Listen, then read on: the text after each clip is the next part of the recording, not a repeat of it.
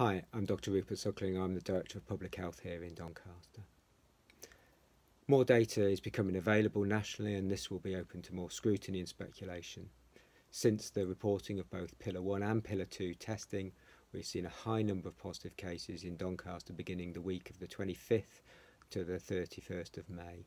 And this coincided with widespread testing in our care homes where we identified a number of asymptomatic positive cases. We've also seen cases in health and care workers with sporadic cases in schools. However, the weekly testing from the week of the 8th to the 14th of June shows a significant reduction.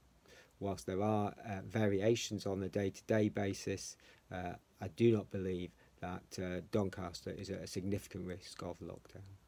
We are not complacent and encourage everyone with symptoms to self-isolate and arrange to be tested. We're working closely with the local Public Health England Centre, which hasn't raised any concerns with me about our approach. The advice about hand washing, keeping our distance and following guidance is still paramount. We will help to manage infection outbreaks. Thank you.